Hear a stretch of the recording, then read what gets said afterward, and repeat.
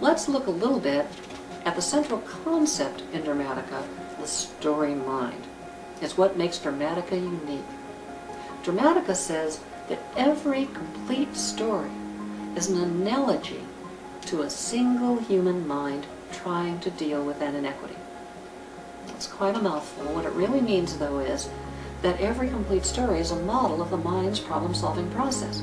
In fact, it says that all the elements of the story are actually elements of a single human mind.